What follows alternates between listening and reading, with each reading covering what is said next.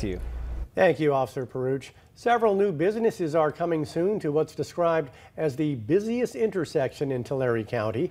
Action News South Valley reporter Cassandra Gutierrez joins us live from Mooney Boulevard and Caldwell Avenue in Visalia with when we can expect to see those new shops. Cassandra. Dale, I'm at the Sequoia Mall, which closed at the beginning of the year for a major renovations project. You can actually see it behind me. Nordstrom Rack getting ready to open in just a few weeks. Locals are excited for what's to come.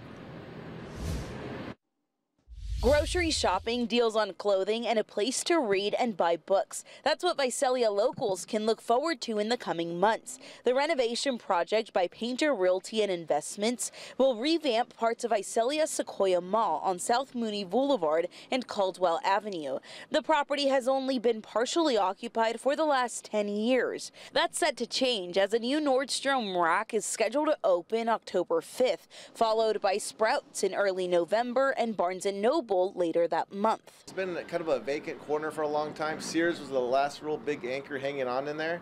And so he's developed in this area. This is one of the busiest intersections in the city of Visalia, and we're really excited. Down the road, there's also a new Aldi grocery store and a new Starbucks coffee shop coming to town.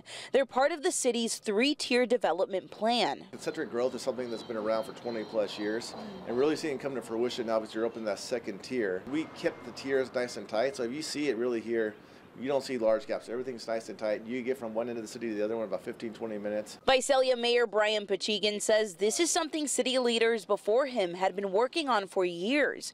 Now that it's finally coming to fruition, he says people can look forward to an improved local economy with more job availability. The new additions also add convenience for residents who enjoy shopping closer to home.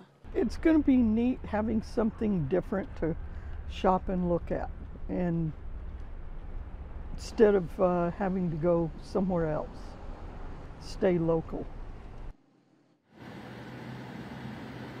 These new stores also mean new employment opportunities. We'll have deta details on how to apply on our website. Live in Visalia, I'm Cassandra Gutierrez, ABC 30 Action News.